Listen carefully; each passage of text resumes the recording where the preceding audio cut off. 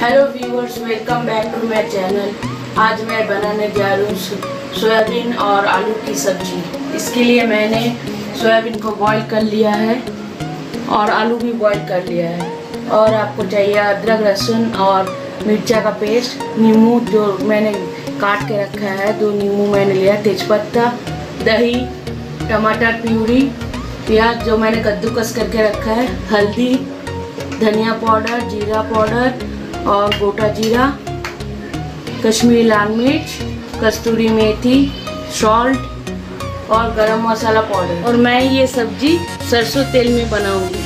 अब इसको मैं अभी मैरिनेट करके रखूँगी।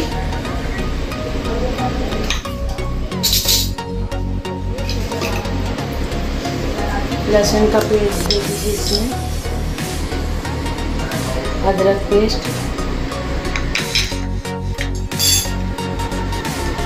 नमक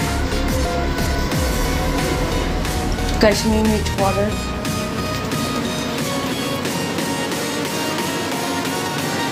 और नींबू को मैं नींबू का रस करूँगी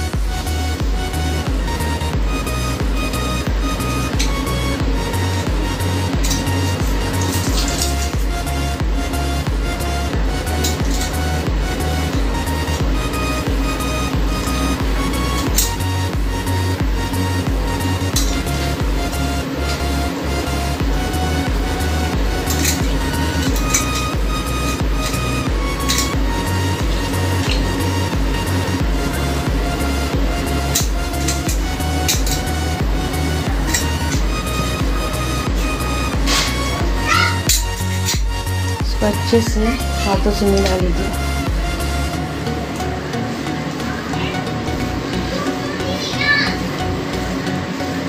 इसको मिला के 10 मिनट के लिए रख दीजिए। अगर आपको मेरी ये रेसिपी अच्छी लगी है तो लाइक सब्सक्राइब और कमेंट करना मत भूलिए और बेल आइकन को दबा दीजिए।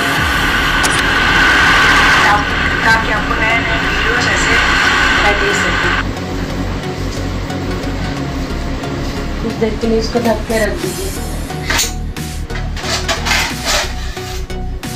10 मिनट के लिए इसको ढक के रख दीजिए। तब तक मैं कढ़ाई में आलू को फ्राई कर लूँगी। आलू में हल्का सा हल्दी।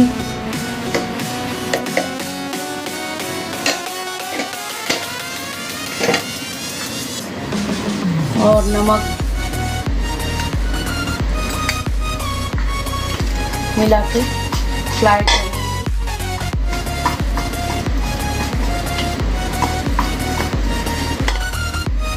अब मैं कढ़ाई में दो चम्मच ऑयल दे दूँगी।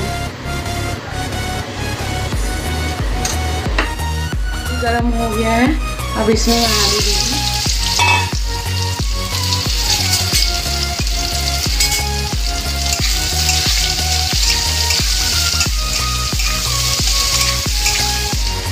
आलू फ्राई हो गया।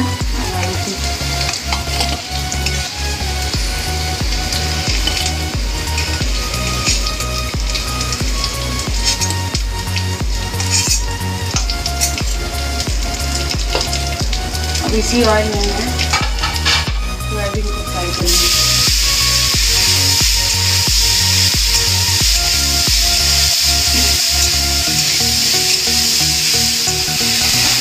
सोयाबीन फ्राई हो गया और इसको हल्का सा सौते करने के बाद वो निकाल लेंगे।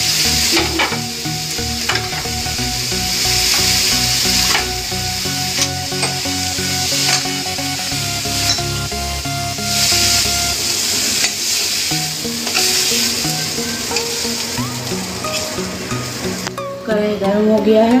अब इसमें फिर से मैं दो चम्मच ऑयल दे दूँगी। ऑयल गरम हो गया है अब इसमें मैं कुछ करता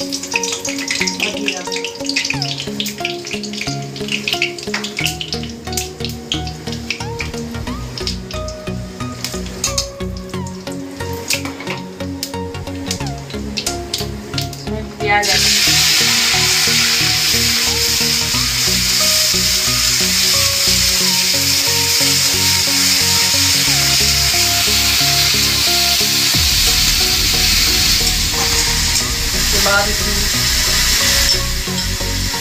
लहसुन का पेस्ट अदरक पेस्ट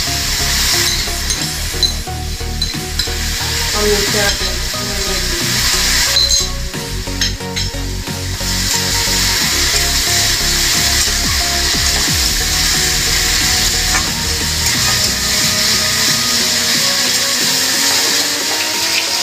अब इसमें नमक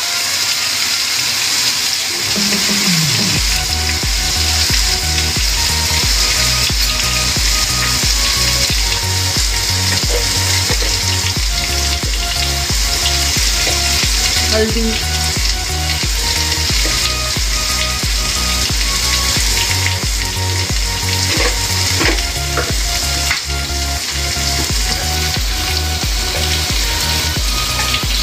जीरा पाउडर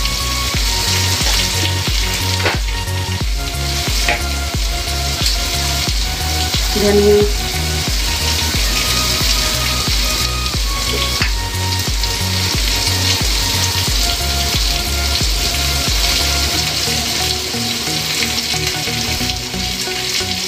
चटनी डालनी? है और इसमें टमाटर प्यूरी ऐड कर दीजिए।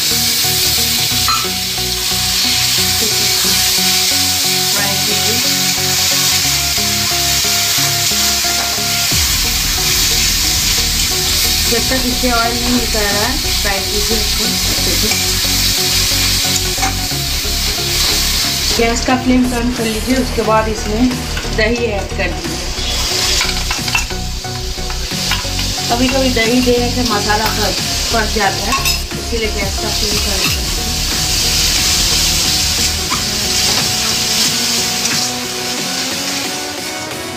आप देख ही सकते हैं इससे ऑयल निकलना चालू हो गया, अब इसमें आलू और सोयाबीन।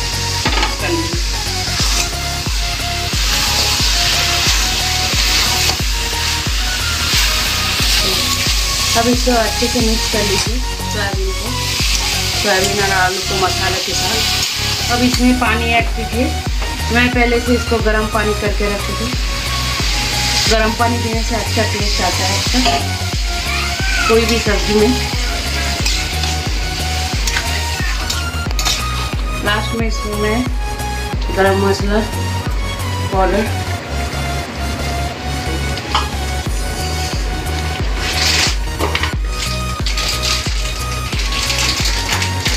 और कस्तूरी मेथी ऐड करके इसको कुछ देर के लिए ढक दूँगी।